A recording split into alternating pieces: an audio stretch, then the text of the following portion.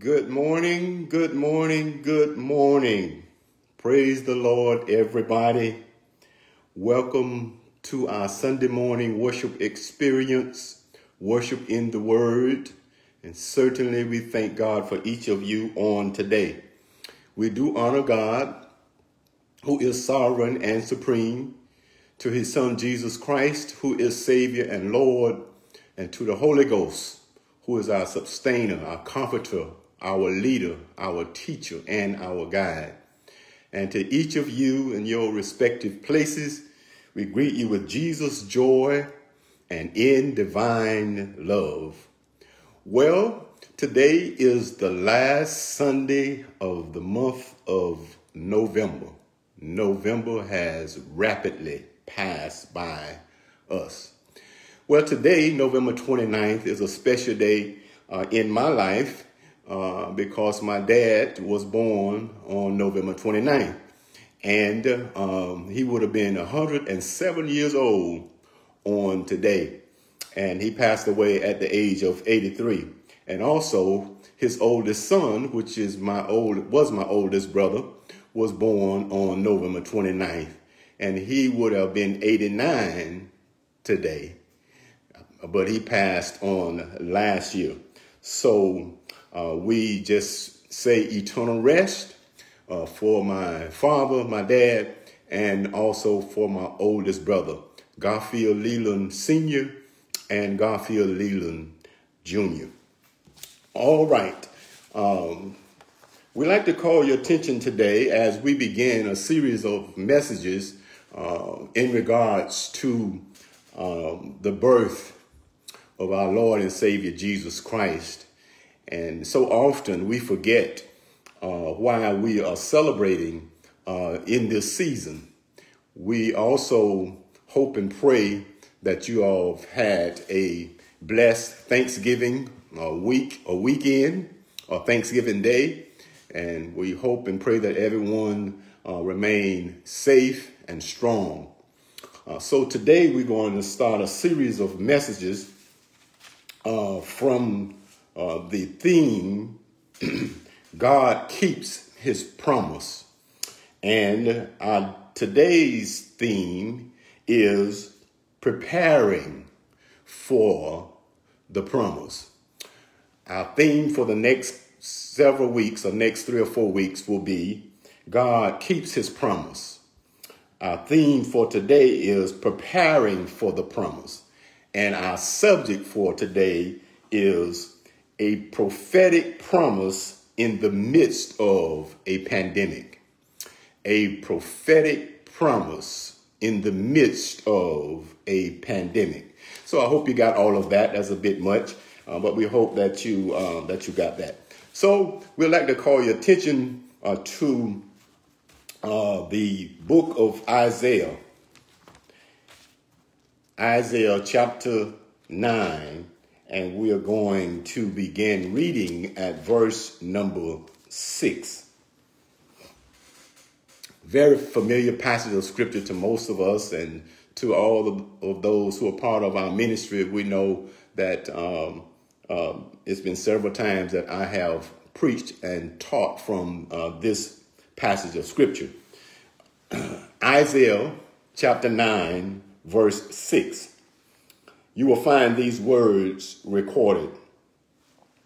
For unto us a child is born, unto us a son is given, and the government shall be upon his shoulder, and his name shall be called Wonderful, Counselor, the Mighty God, the Everlasting Father, the Prince of Peace. Verse 7 Of the increase of his government and peace there shall be no end upon the throne of David and upon his kingdom to order it and to establish it with judgment and with justice from henceforth even forever. The zeal of the Lord of hosts will perform this. Let us pray. Father, we thank you now for allowing us to come together and allowing us this privilege and this opportunity. We ask now, God, that you release your power, your presence, your anointing upon this your vessel, that I may preach and teach with power and with clarity. Anoint the ears, the hearts, the minds, the spirits of your children, that they may be receptive, that they may believe, explore, apply, and share this word. In advance, we give you all the honor, all the glory, and all the praise. For it's in Jesus' precious name that we pray. And every heart said, Amen. Today, I, we want to talk from these words a prophetic promise in the midst of a pandemic. My brothers and my sisters, we must always remember that God, our Father, is still in charge, regardless of what may be going on uh, in the world. And God will answer the cry or the call or the prayers of his children. He may not answer us uh, when we want him to, but as the old song says, he's always on time. So when we look at uh, what was going on before our Savior, Jesus the Christ, came to this world, there was literally a pandemic. Yes, perhaps many of us just found out or learned about a pandemic uh, in 2020. But a pandemic uh, simply means a disease outbreak affecting an exceptionally high proportion of the population. Uh, before Jesus was born, there was a pandemic. It wasn't a, a physical disease, but it was a sin disease, a spiritual disease. And my brothers and sisters, when we have a spiritual disease, it always affects our soul and our body. So over 2,000 years ago, there was a pandemic and God, yes, God our Father, he had a prophetic or he gave a prophetic word uh, in the midst of the pandemic.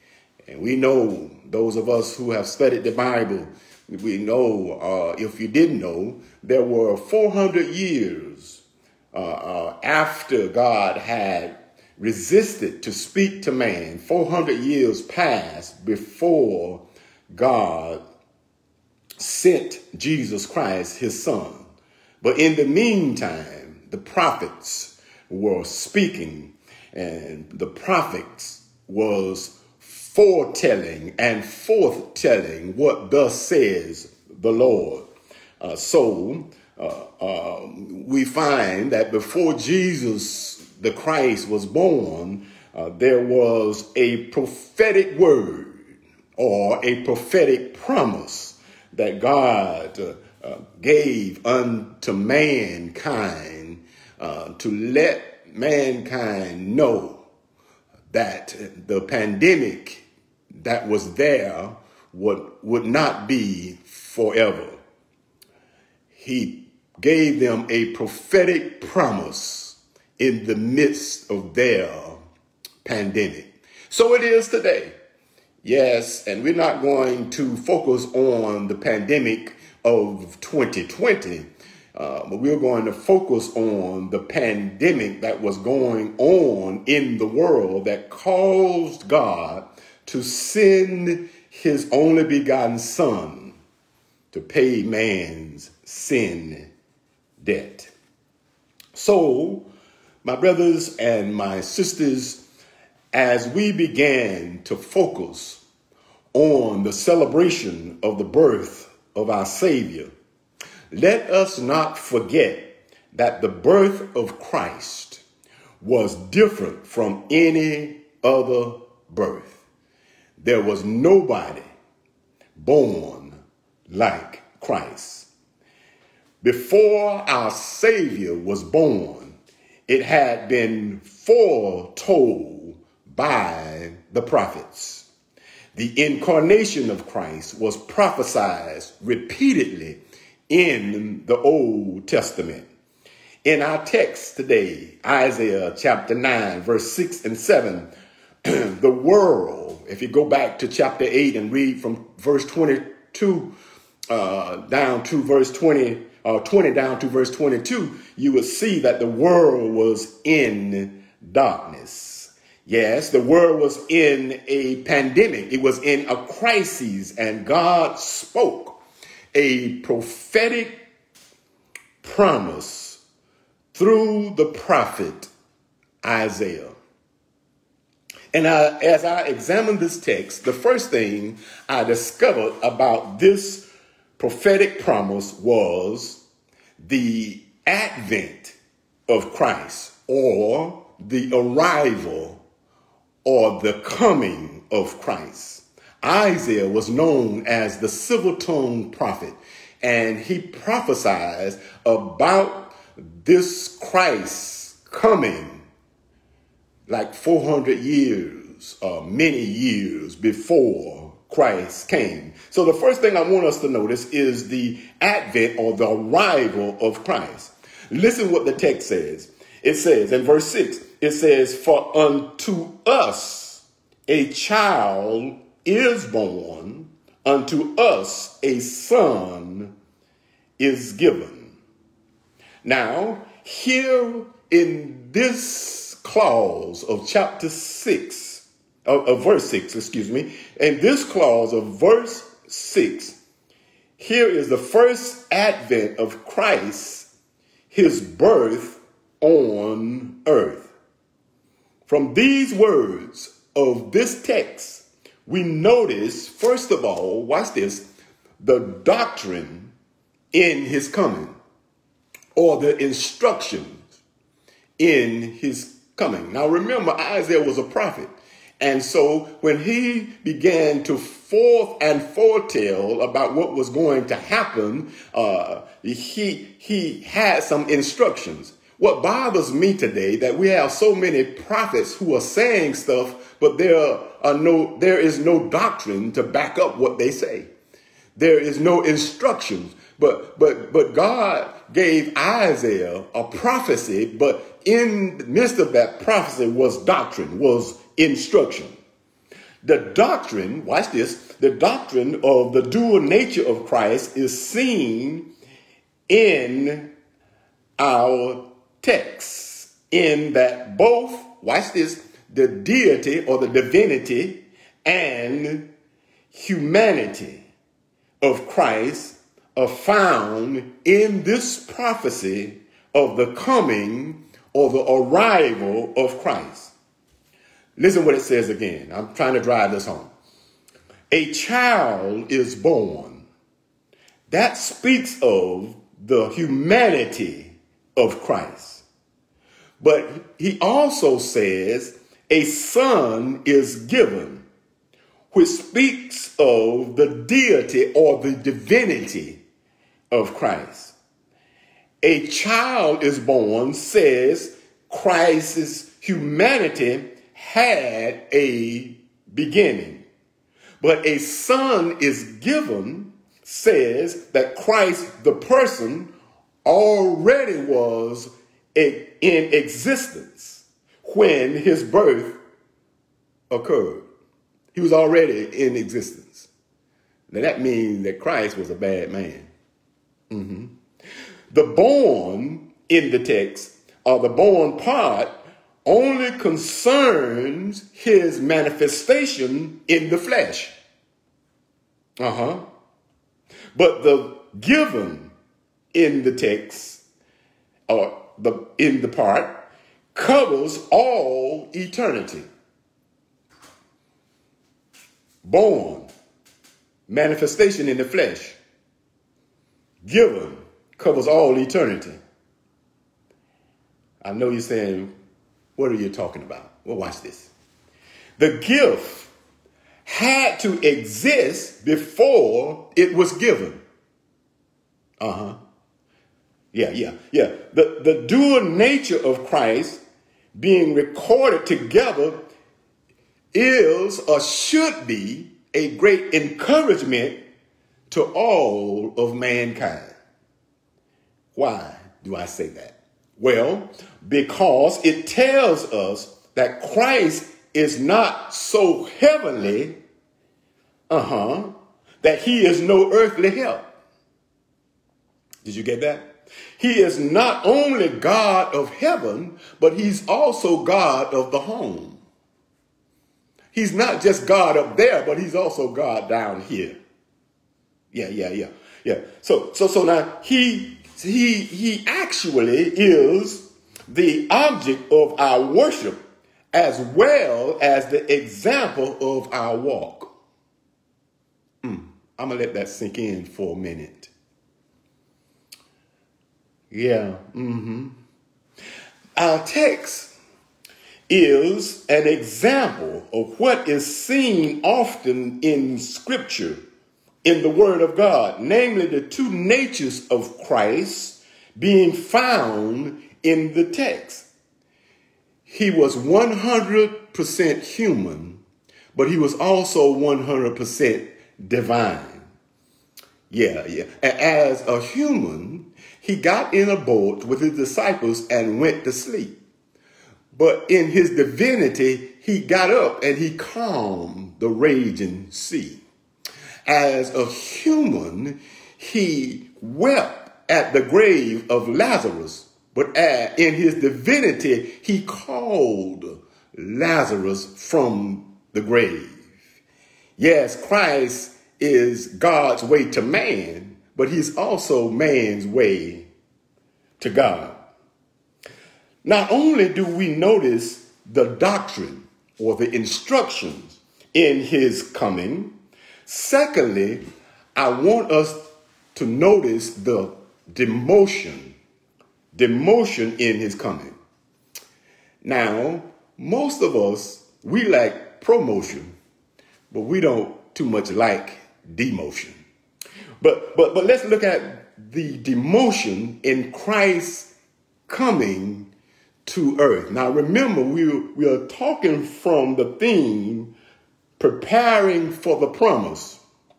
And our subject today is a prophetic promise in the midst of a pandemic. There was a pandemic going on uh, in the world before Christ came. It was a widespread of sin. So now, the second thing I want us to notice is the demotion.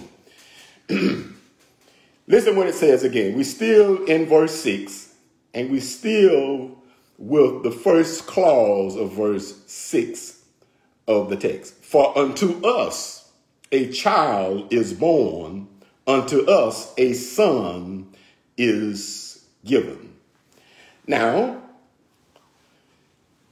the incarnation, which simply meaning Christ became flesh, the incarnation of Christ was a great condescension for Christ. In other words, he yielded from his superior rank. You got to understand that Christ was sitting on the right hand of his Father. But because of the pandemic, the sins of the world, or the sins of mankind that began to stink in the nostrils of God, so Christ uh, uh, demoted himself. Uh huh. He yielded from superior rank. In other words, the, the, the, the ancient of days became an infant in days. The everlasting Father is a son given. Are you with me? Such was his condescension in taking our nature upon him. Thus did he humble and empty himself. Demotion. So, if Christ would humble himself so greatly in order to save our souls, then we ought to be willing to humble ourselves, if necessary, in order to serve him.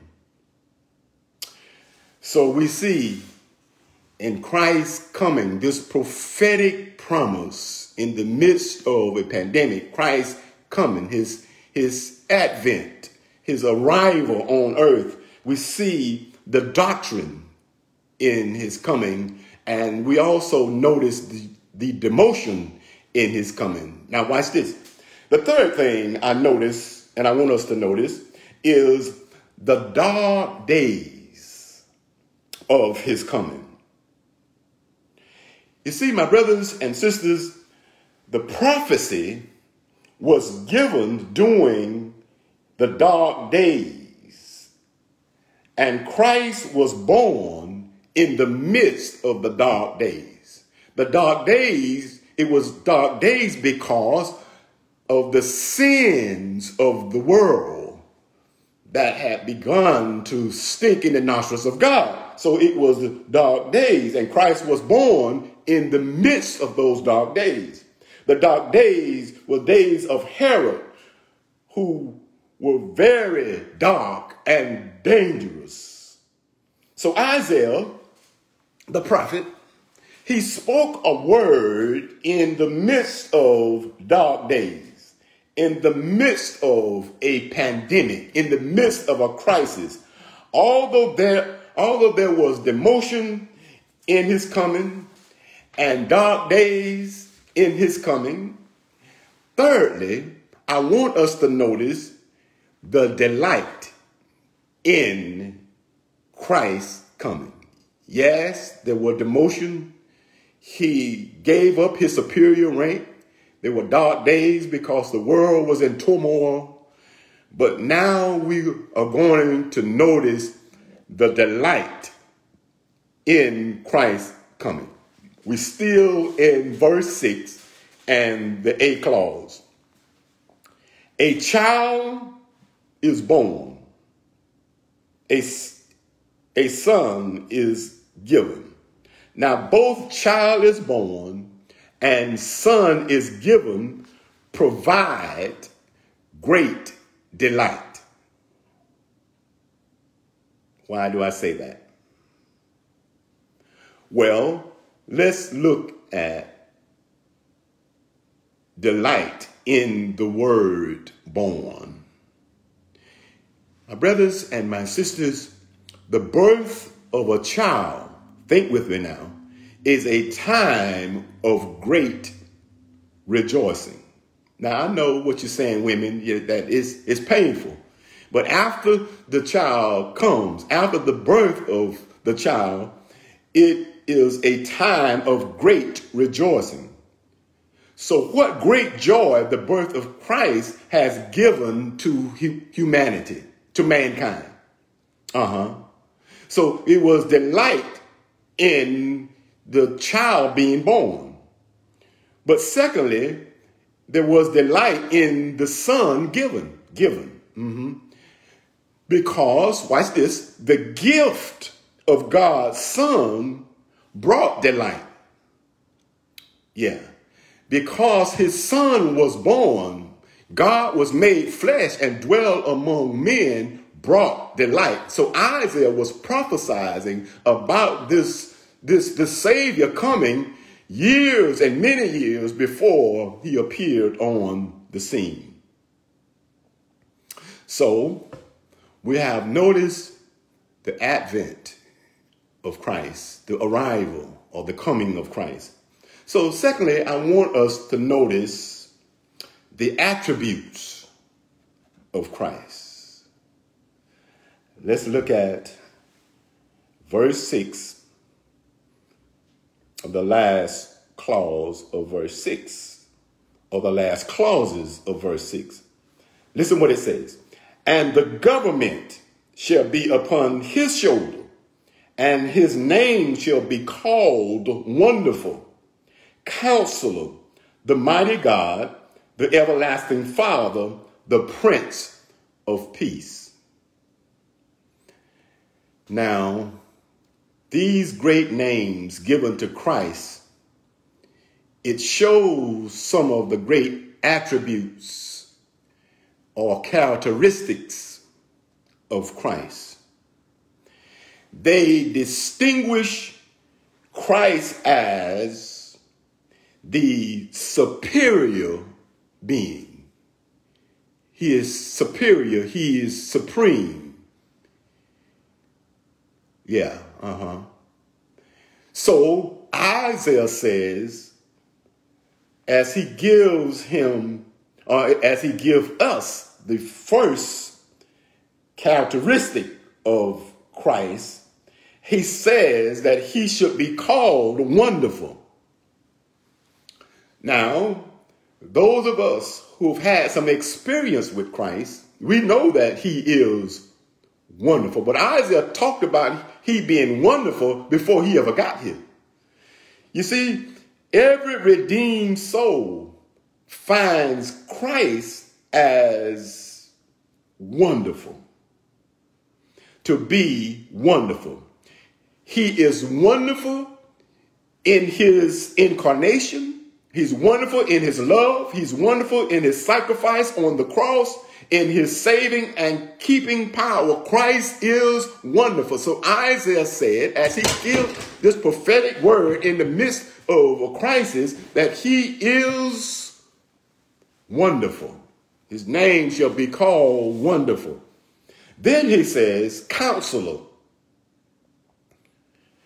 He comes to us as a revealer of the Father's will. Christ is the great counselor. Oh, yes, he is. He is the greatest counselor of all.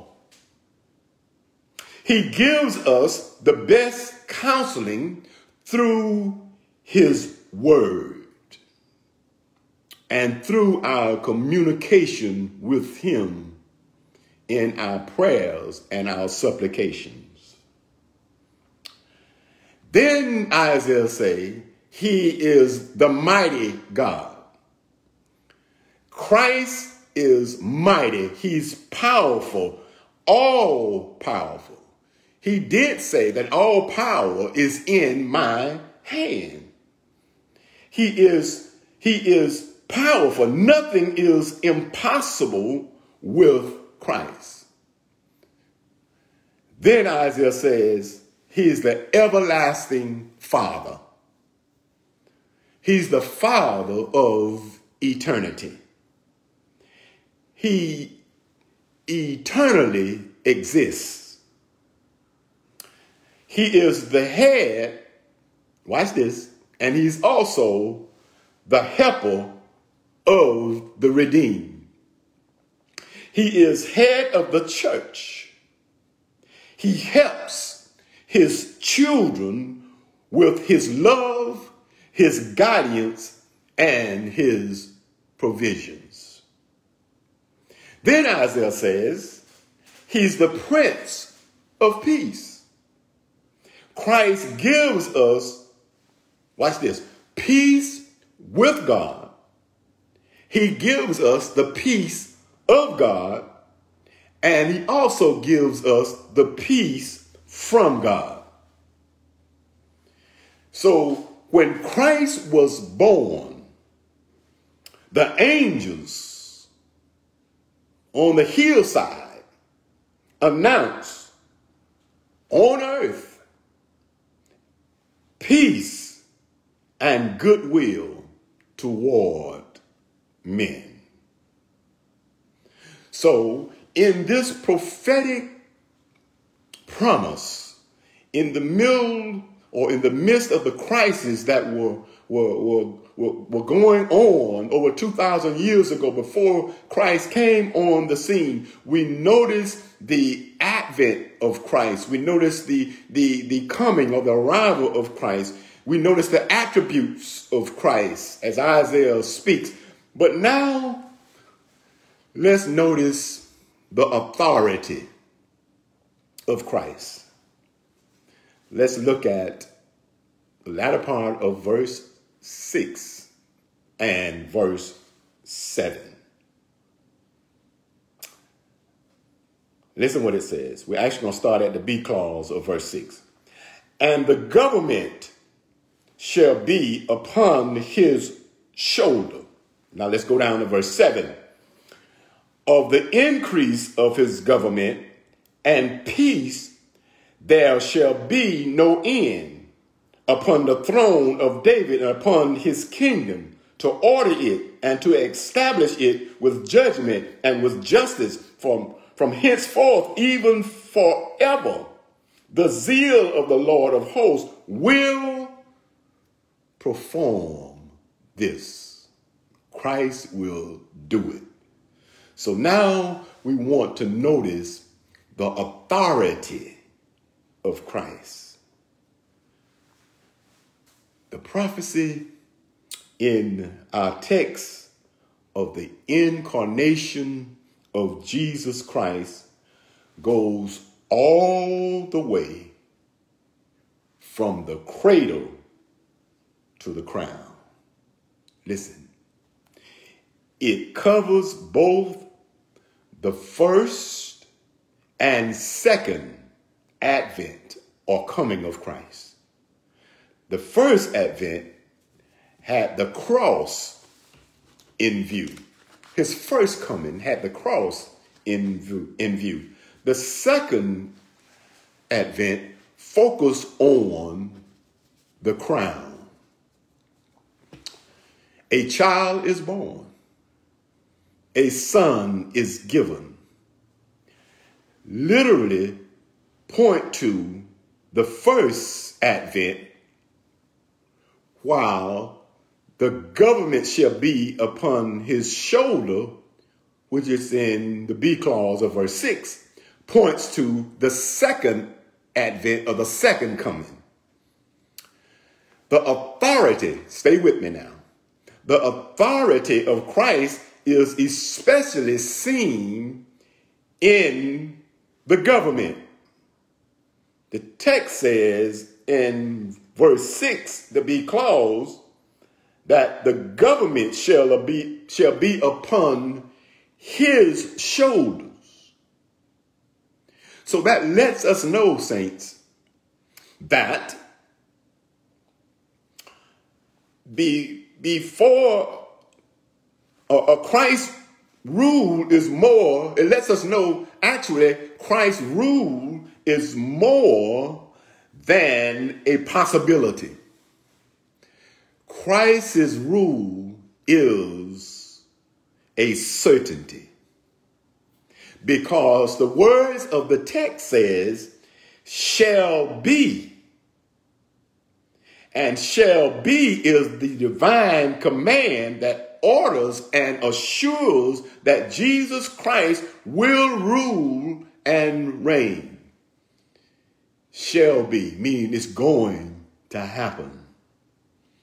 Uh huh. So when God says, shall be, it is as good as done. So our text also gives great comfort to God's people about the future. You see, my brothers and sisters, God's blessed promises can be a source of great comfort to God's people. Even in what we are going through over 2,000 years since Jesus came on the scene, God promises they are still good. Are you with me? Now, the text also instructs us that Christ will carry the government with the excellent character of his government. Watch, watch that. Let me, let me read that again. Let me say that again because I, I don't want you to miss it. Christ will carry the government with the excellent characteristics of his government. And you see, his government will be better and more successful than the world's government. His government is going to be better and more successful than America's government. Thank you, Lord. Christ's government has some characteristics attached to it that I want you to get. First of all, Isaiah is really saying that Christ's government will be progressive. It will be steady advancing. Uh huh. Look at verse 7. Of the increase of his government, his government will be progressive. The increase of his government, there shall be no end. That's what the text says the largeness, luster, and length of Christ's government shall increase. So Christ's government is going to be progressive. But secondly, it will also be peaceful. Look at the text it says, Peace there shall be no end. When Christ ruled, and when we allow him to rule, the entire world will be at peace. See, we want peace in the midst of this crisis that we are presently going in, or that we are presently in then we need to let Christ rule. If he rules, uh-huh, in the world, there will be peace. Christ's government will be peaceful. But thirdly, his government will be prudent, judicious. Listen what it says in the text, verse 7 upon his kingdom to order it. Now, what does that mean? Well, hang on. To order it speaks of the, the efficient organization of Christ's administration of his kingdom. You see, you don't have to worry about Christ having a bad administration. It's all good. But in the world and in our nation, we have bad administration that causes things to be unjust. Yes, my brothers and my sisters, Christ speaks or his order speaks of the efficient organization of Christ's administration of his kingdom. Everything is and shall be well managed in the kingdom of Christ.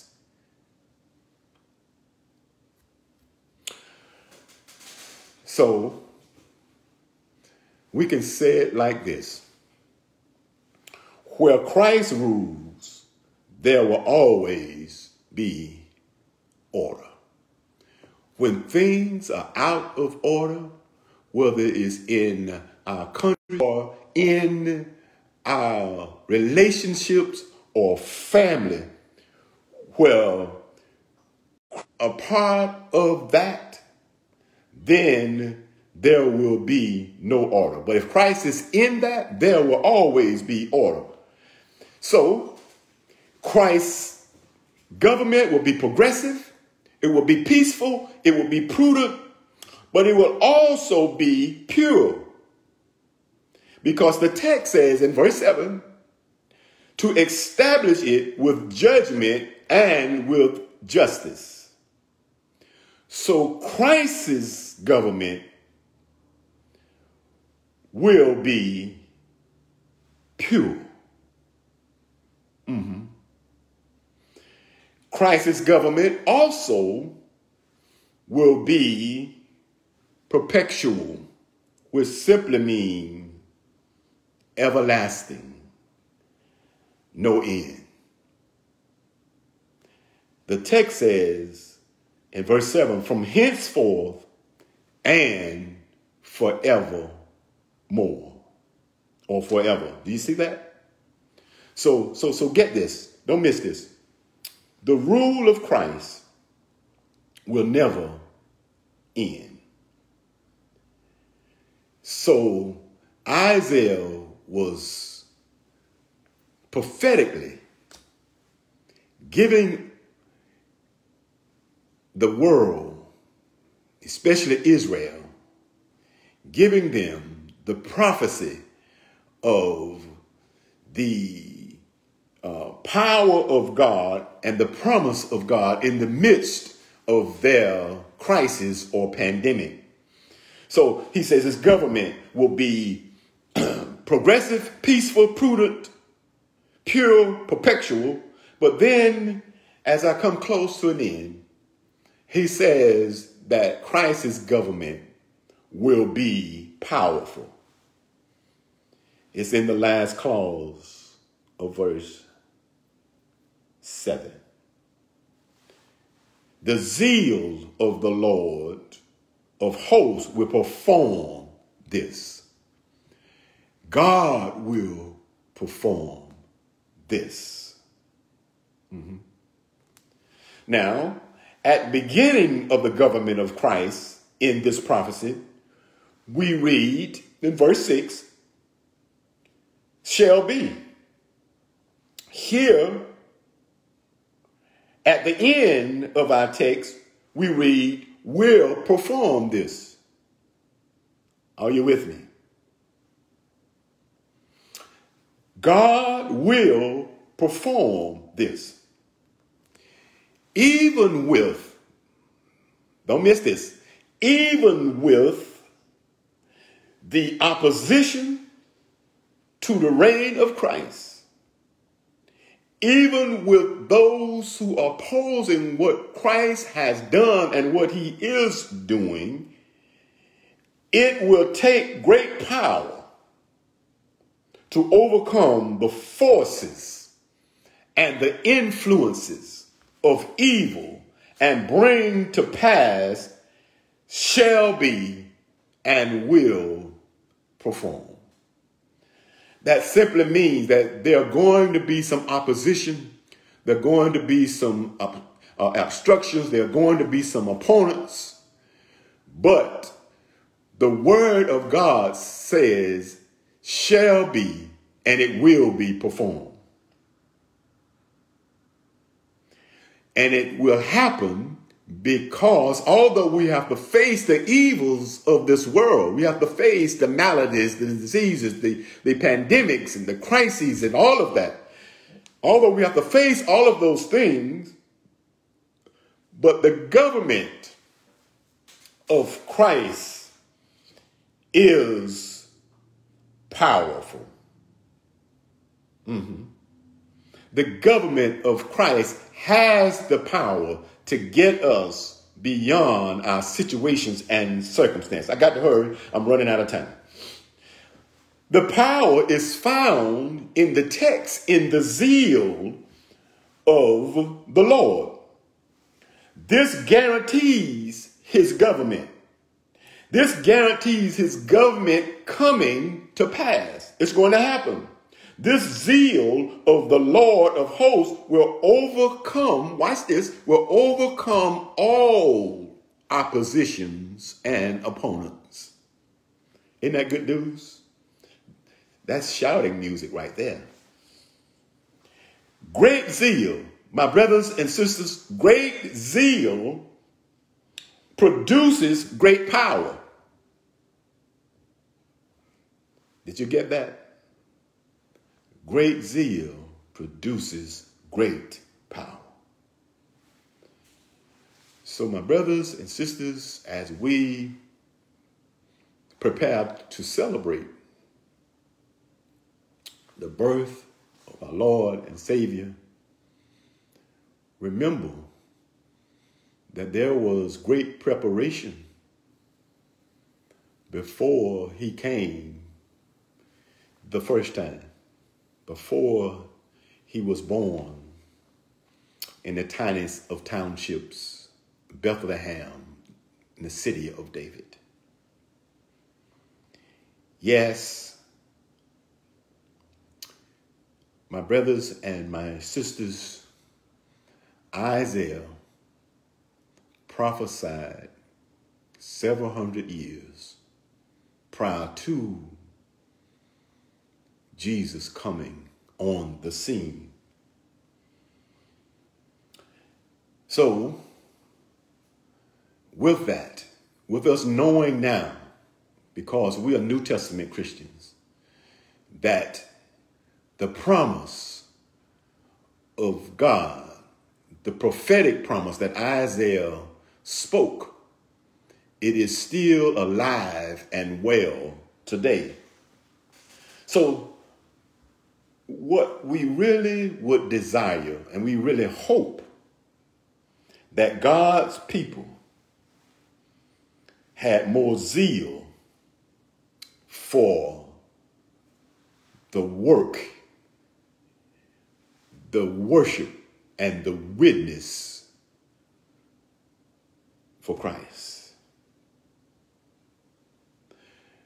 I would hope and pray that the people of God will be fired up with zeal and their exploits for Christ will be greater. Yes, if the zeal of God is in you,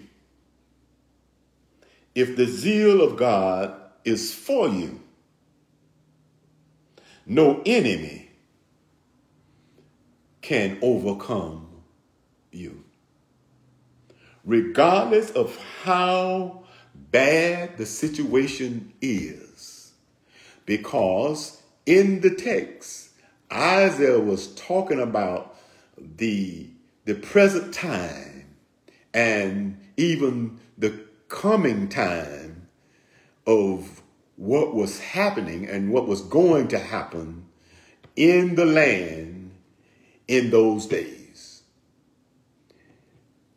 man sin was stinking in the nostrils of God, and there was darkness and doom. So Isaiah spoke a word of prophecy, a word of promise in the midst of that pandemic when the sins was running rampant. So it is today. So as we prepare to celebrate the birth of Christ in the midst of a pandemic, remember, remember this, my brothers and my sisters. God's promise is still good. God will do what he said he would do. Mm-hmm. Because God's word, I believe it. God's word is true. If God said it, you can bank on it. Whatever he promised, he is able to perform. So make sure that even in the midst of this pandemic that's going on in the world today, remember that it was a pandemic going on uh, thousands of years ago, and God, our Father, He released His promise. And that's why we're celebrating this season because in due time the promise did show up and we'll deal with that the rest of this of uh, these series of messages. So if he promised it he will perform it. So hang on in there with god. Don't throw in the towel. Don't give up.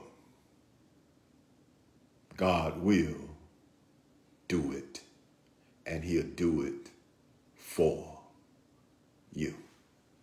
Let us pray. Father, we thank you now for this word on today, reminding us of a prophetic promise or prophetic word in the midst of a pandemic or in the midst of a crisis. We pray now, God, that this word will sink deeply into our hearts, minds, and our spirits, that we become better, better Christians, better disciples, better ambassadors of yours and that we'll love you and love our brother, our fellow man. We thank you for your word on today. And we pray for those who may not know you in the pardon of their sins, may not have ever received the Lord Jesus Christ as their personal Savior. We pray now, God, if they're listening or watching on today, that they would get to know the Savior, that they would get in a hurry to receive the Lord Jesus Christ as their personal Savior. And if you are listening today or watching, if you would just pray this prayer with me or repeat after me Lord God, I'm a sinner. I need to be saved. I need salvation. I believe that you are the Son of God. You died for my sins, and God the Father raised you for my redemption. Come into my heart. I receive you as Lord and Savior of my life. If you prayed that prayer on today, I believe that you are saved according to the word of God. Because the word of God says, He that calleth upon the name of the Lord shall be saved. So if you believe that, uh, what I want you to do, I want to encourage you to connect with some Bible teaching, Bible believing church. And if you need our assistance, you can call Innovation Baptist Church 850-575-0818 and someone will help you along the way. And maybe you're listening and you are saved, but you have backslidden. You have walked away from the presence of the Lord and you know that it's time to come back. The Lord is married to the backslider. He's waiting on you to return unto him. So if you would do that today, don't put it off. Uh, don't put it off. Don't put time off. Just do it now and do it as quickly as possible. And if you need help with that, with your recommittance, you can call our church as well. Or log on to our website, innovationbaptistchurch.org, and someone will help you along the way. Well, my brothers and sisters, we thank you for sharing with us on today. God bless you and keep you. And if you want a replay of this message, you can um, log on to our website, innovationbaptistchurch.org, and you can get the replay and you can share it with someone else if you so desire. Remember that our midweek service has been postponed until January 6th. We're giving you a chance to be with your families and enjoy your family. No midweek service, no Wednesday night service. Uh, but we will be back on Sunday morning, uh, 9.30 a.m. for worship with worship in the word. Amen. So may God bless you. May God keep you. Certainly is our prayer.